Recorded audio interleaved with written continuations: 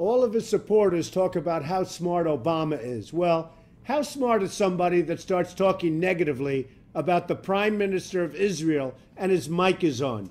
You think that's smart? I don't. The debate last night was really interesting. Mitt Romney did a very, very good job. He's solid, he's a rock.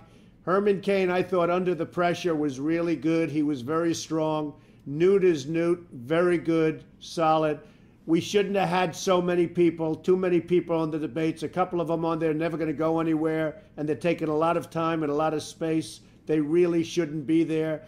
And of course, most importantly, Rick Perry had a rough evening. That was a rough moment, I'll tell you.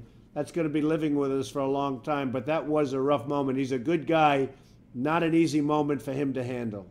I've been studying the candidates really closely. I think I've gotten to know them pretty well, the ones that count at least. And I will tell you, we will be making an endorsement. It won't be too soon, but it will be soon enough. And I think millions and millions of people will go to that candidate because they're watching me. They know I know what's happening, and the world is ripping us off. And we want somebody that will stop the world from ripping off the United States. We've had enough. I'm receiving tens of thousands of tweets on Twitter.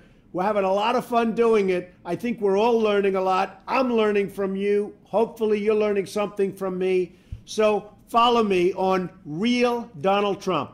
Real Donald Trump. Let's